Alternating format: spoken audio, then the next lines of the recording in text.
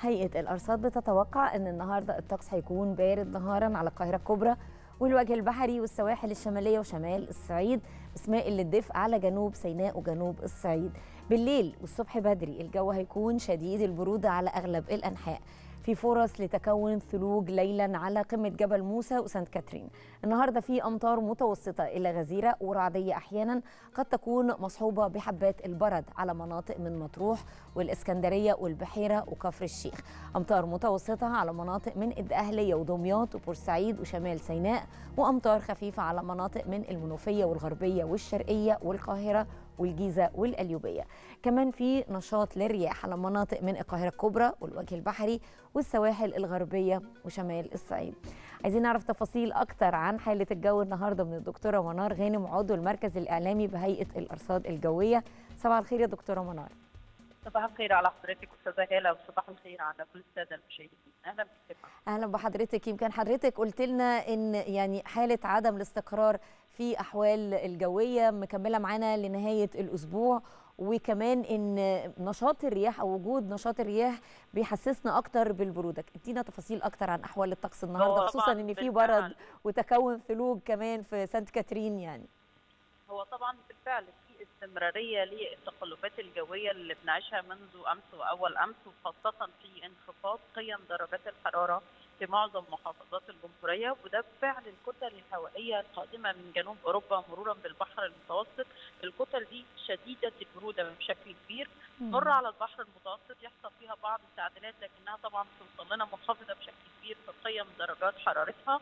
كمان وجود امتداد لمنخفض جوي متعمق في طبقات الجو العليا مع تبريد شديد فيها بيعمل على وجود السحب المنخفضة والمتوسطة وأيضا السحب الرعدية اللي بتساعد بشكل كبير على حجب جزء من أشعة الشمس على مدار اليوم فبتساعد طبعا على انخفاض قيم درجات الحرارة. تعتبر قيم درجات الحرارة خلال فترة النهار أقل من المعدلات الطبيعية بحوالي من درجتين إلى ثلاث درجات. عظمى على القاهرة الكبرى متوقع تسجيلها اليوم 16 درجة مئوية. لكن طبعا المحسوسة هتكون أقل من كده لو تكون 14 أو 13 درجة مئوية بسبب طبعا وجود نشاط الرياح في أغلب محافظات بالظبط. الرياح دايما هي عامل مهم جدا في إحساسنا, إحساسنا بالبرد. باحساسنا بالبرد واحساسنا بانخفاض قيم درجات الحرارة لأن اليوم كمان سرعات الرياح هتتراوح ما بين 30 إلى 40 كيلو متر على الساعة في معظم محافظات الجمهورية وخاصة في المحافظات الشمالية. فبالتالي أجواء فترة النهار هي أجواء باردة على أغلب محافظات شمال البلاد حتى القاهرة الكبرى وشمال الصعيد مائلة للدفء على جنوب سيناء وجنوب الصعيد ده بيكون فترة النهار. لكن طبعا كمان فترات الليل مع الغياب التام لأشعة الشمس مزيد من الانخفاضات في قيم درجات الحرارة.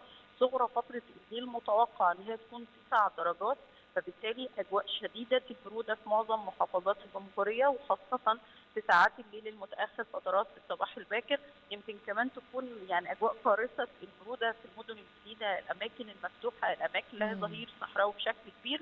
وطبعا نتيجة انخفاض قيم درجات الحرارة لتحت الصفر على جبال موسى أو سانت كاترين هيتكون الثلوج على مرتفعات سانت كاترين أو في وسط سيناء تحديدا بالإضافة كمان الصقيع بيتكون على المزروعات الموجودة في وسط سيناء أو شمال الصعيد أو محافظة الوادي.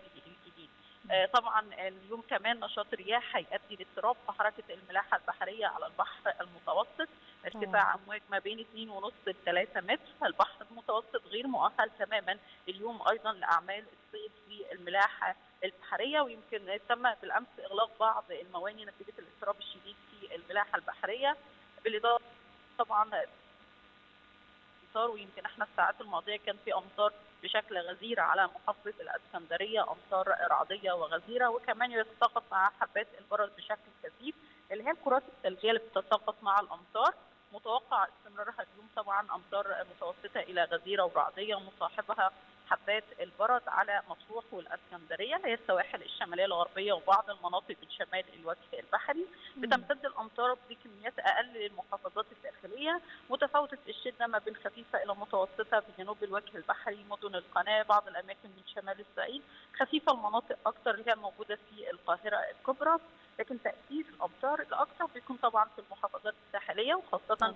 في المحافظات السواحل الشمالية الغربية وشمال الوجه البحري. الحالة الجوية المتقلبة دي زي ما قلنا في الأول متوقع استمرارها ليوم الجمعة اللي جاي إن شاء الله. يعني اللي هي إن شاء الله بعد بكرة إن شاء الله استمرار الأجواء اللي فيها انخفاض في قيم درجات الحرارة الامطار المتفاوته في الشدة وكمان نشاط الرياح ومع يوم السبت المقبل تبدأ تهدأ سرعات الرياح في أغلب محافظات الجمهورية. كميات الأمطار تقل بالإضافة كمان إن قيم درجات الحرارة بشكل تدريجي تبدأ ترتفع لتعود للمعدلات الشتوية المعتادة. لكن مهم جدا ناخد بالنا من كميات الأمطار في المحافظات الساحلية وخاصة في مطروح والأسكندرية والبحيرة وكفر الشيخ. لأن كميات الأمطار على المحافظات دي مش قليلة تماما. استمرارية لسقوط الأمطار بشكل كبير ويمكن الحمد لله إحنا في تنسيق كامل بيننا وبين كل غرفة أزمات في كل محافظة لتفادي الأزمات قبل ما تحصل ومتابعتهم في صور الأقمار الصناعية وكميات الامطار واماكن سقوط الامطار لكن مهم المواطنين يخلوا بالهم بشكل كبير أثناء سقوط الامطار. نبتعد عن أعمدة الإنارة، الشبكه الكهربائيه، ألواح الأماكن المعدنية الموجودة في الشوارع المباني المتهالكه والقيادة تكون بهدوء تام، طبعا الملابس الشتوية على مدار اليوم كله بالإضافة كمان وتكون شتوية ثقيله طبعا وخاصة فترات الليل متاكد فترات الصباح الباكر والمتابعة الجيدة للنشرات الجويه. أكيد طبعا شكرا على نصايح حضرتك وبنشكر حضرتك دكتورة منار غانم عضو المركز الإعلامي بهيئة الأرصاد الجوية. تعالوا مع بعض بقى دلوقتي نتابع درجات الحرارة المتوقعة النهارده في القاهرة وفي المحافظات.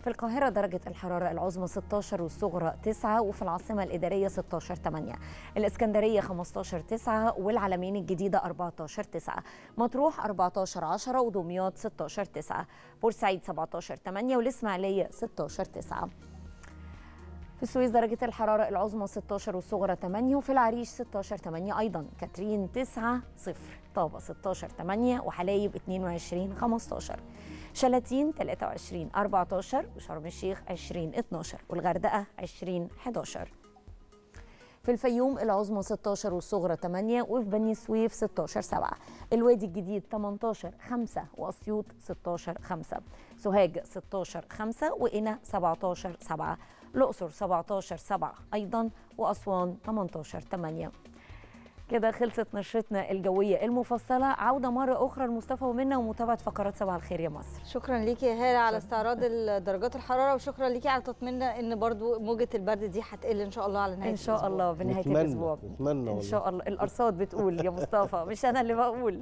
دكتورة منار لسه قايلة يوم الجمعة إن شاء الله. ابتداء من. يوم السبت إن شاء الله الجو يتحسن. شكرا جزيلا. شكرا.